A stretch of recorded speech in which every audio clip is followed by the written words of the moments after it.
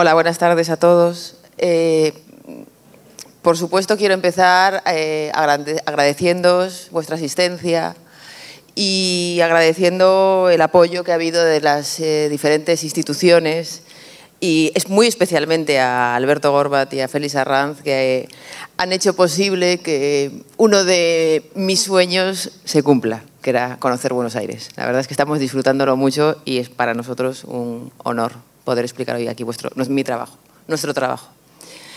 Em, hoy quiero hablar de algunos de los proyectos que hemos hecho en, la oficina, eh, unos con, más fortuna que otros, en el sentido de que eh, hemos podido llegar a, construirlos, pero para nosotros mm, todos igual de importantes.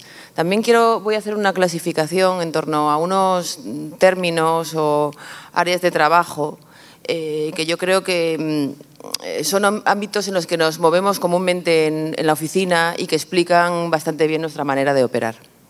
El primer término es proceso.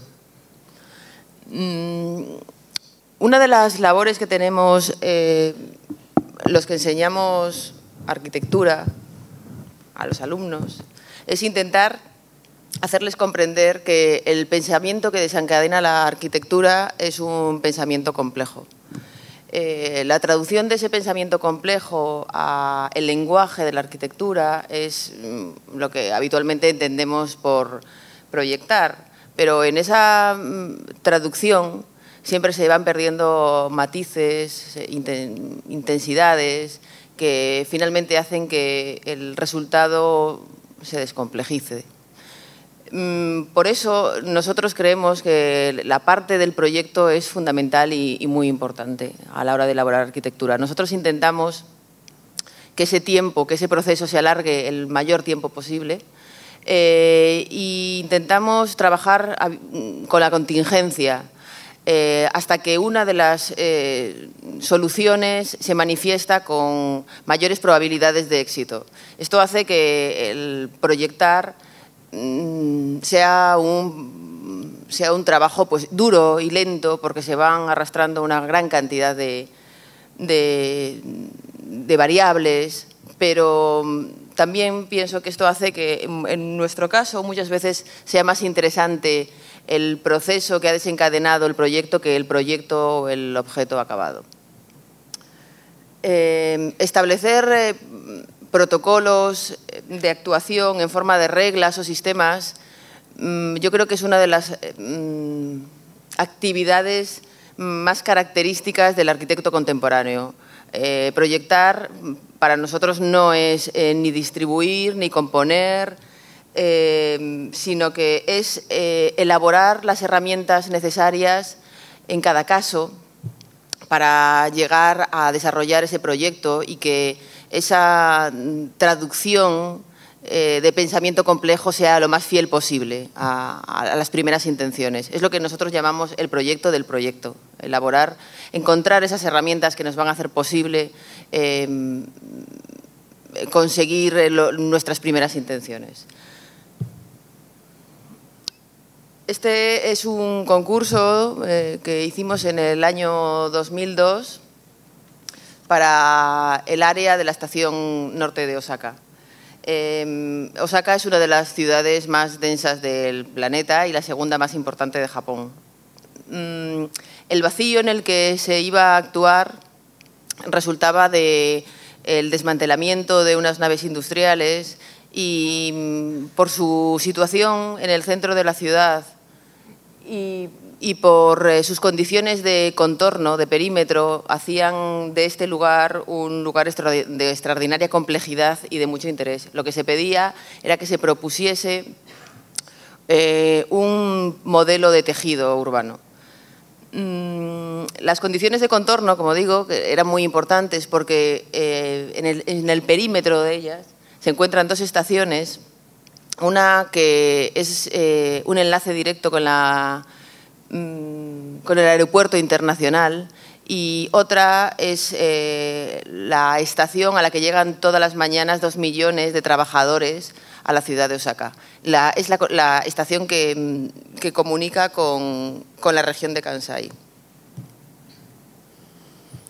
Eh, hablar de ciudad es hablar de densidad y la densidad implica siempre complejidad e intensidad.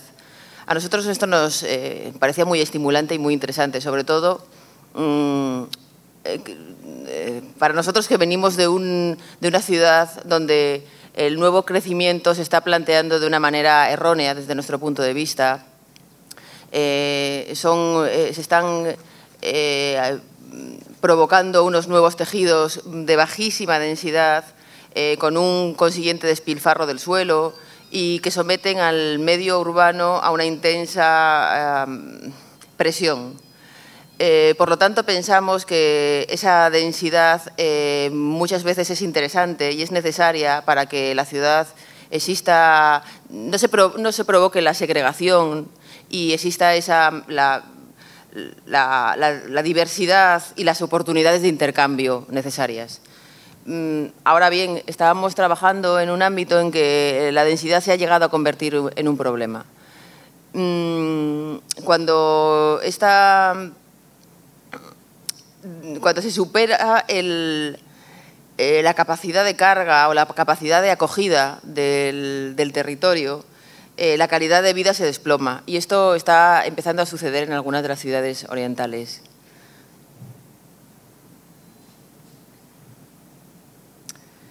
Eh, nosotros pensamos que el vacío urbano es el garante de la calidad urbana deseada, ese vacío que, que todos conocemos, que todos tenemos en nuestras ciudades, eh, que se ve traducido en forma de parques y de plazas. Es el lugar de los intercambios, es el lugar donde eh, se pasa el tiempo libre. Pero ese vacío urbano en, una ciudad como Osaka no existe. Fijaros en este gráfico, que yo creo que es bastante esclarecedor, donde eh, una ciudad como Nueva York, que podemos pensar que es bastante densa en general, tiene 10 veces más eh, metros cuadrados por habitante que una ciudad de Osaka. En Osaka no existen eh, lugares libres.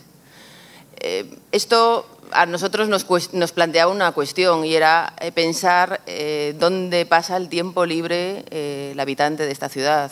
Y la respuesta era clarísima.